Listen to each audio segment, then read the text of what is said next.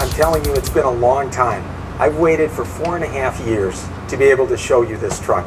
And I know you guys have waited at least nine months since we introduced it at NIAS. And I've got a team of engineers here, 20 of them or so, that are going to help you go through this, all the technologies and everything else. Uh, and you're going to see it tonight, you're going to drive it tonight, and you're going to you're going to experience what we've been talking about. So I'll be short on the words and long on the demonstration. It is about weight savings.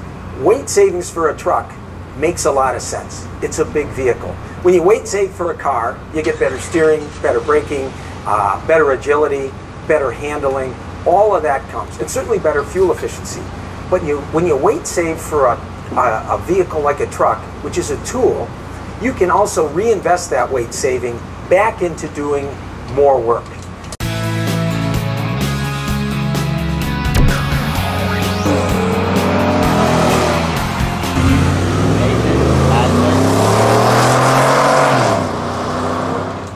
So uh, a truck naturally benefits from weight saving more than any other vehicle. So that's why we did it here. And again, as Matt mentioned, this is a segment buster. As Doug mentioned, every customer gets it.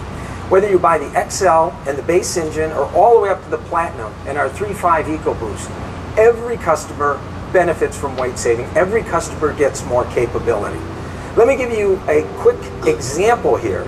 If you look at the slides behind me, I've got let's two trucks that have a gross vehicle weight rating of 7,000 pounds. That's the total weight of the vehicle, its passengers, and all of its cargo. That's what it's rated for. If the base curb weight uh, in a steel truck weighs 5,500 pounds, all you have left for payload and passengers is 1,500 pounds. A very typical steel truck number. If you convert the truck to high strength steel frame, uh, high strength aluminum alloys, and you take the weight of that truck down to 5,000 pounds, you've got 2,000 pounds left. And to, to bring this to light, let me show you guys a demonstration. Okay, uh, let's look at this slide. Before I bring out two trucks to come on the scale, um, I've got over here 15 F-Series and uh, a typical steel truck. It happens to be a Dodge, uh, a Ram over here. You'll see that this one is 7 7,000 pounds Gower, our F-Series. Uh, the Ram is 6,900 pound Gower. The green, up to the green line, is what the truck weighs empty. And so the Dodge, you see, is, comes in around 5750. Uh, our F-Series comes in maybe 5150. The yellow is the band of payload and passenger you can put in that vehicle before you get the red line. The red line, of course, represents the Gower limit, or the, I'm sorry, the GVW limit. So I'm going to ask these guys, pull these trucks on stage, and let's see what happens. We'll see a black needle, and it'll tell us uh, how much uh, how much weight they've got.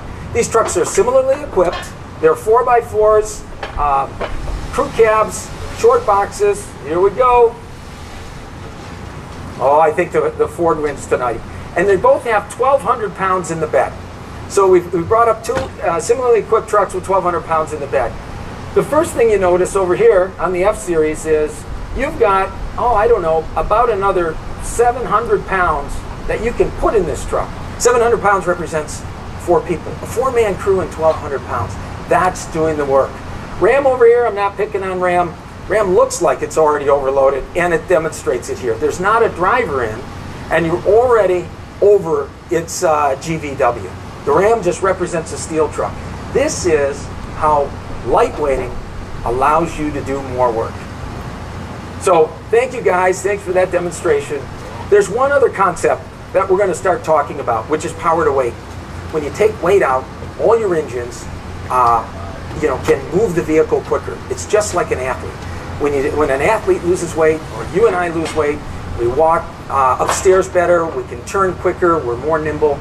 This is the simple concept. For years, we've lived in the power world. I was there. I was chief engineer for Super Duty for years and years. And when you chase power, bigger engines, bigger horsepower, quickly you need a bigger transmission, then you need a bigger drive line, then you need, bigger rear axles, and weight begets weight. This is a game changer. When you take the weight out, uh, we start talking about power to weight ratio. And it doesn't matter what powertrain we have. We have improved power to weight ratio 5 to 16%.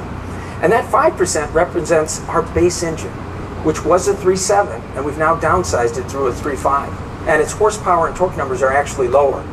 but its power to weight ratio is higher. And the proof is that we can now put it in crew cab 4x4s, which fleet customers love. So power to weight ratio is the new game.